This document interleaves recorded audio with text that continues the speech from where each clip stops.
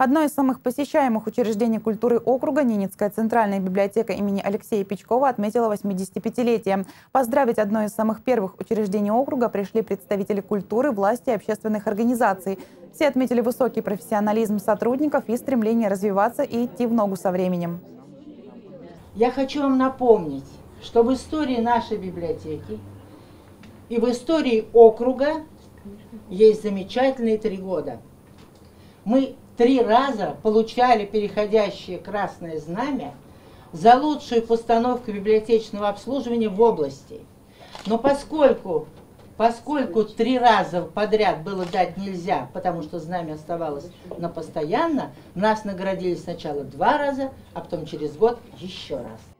У библиотеки имени Печкова не только богатая история, но и богатый универсальный фонд, который насчитывает более 130 тысяч документов на различных носителях. Это книги, журналы, газеты, статьи и электронные ресурсы. Есть электронный доступ в президентскую библиотеку. Более 11 тысяч человек посещают это культурное учреждение. Для молодежи на базе библиотеки организована школа правового информирования. Для людей пожилого возраста – курсы компьютерной грамотности.